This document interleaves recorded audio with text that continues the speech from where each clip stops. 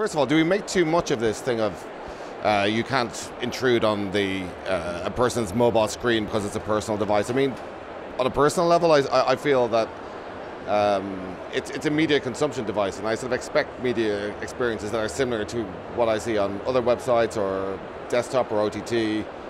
Um, do we make too much of this thing of it being an, an intimate device, or is that something that you experience from both sides? Well, you know, the reason why I have this discussion because we've done this personalized um, um, media activation for so many years, annoying people with retargeted elements in an ad.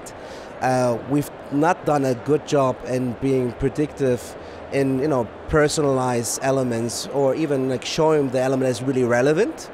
Um, I think that's why we have the discussion today. Okay, especially in a personal device like the mobile device, uh, that you don't want to be annoyed, you know. And then the question is, um, the perception of the age groups is different based on like um, of of media and especially ads. Like I guess uh, the reaction of a millennial today is like if he gets annoyed, he's going to block it right away, you know. As it is possible and desktop will be possible uh, on the mobile device as well. So you know, instead of thinking, we need to be more strategic. Oh, do we need to be personalized? For this brand? Is it necessary?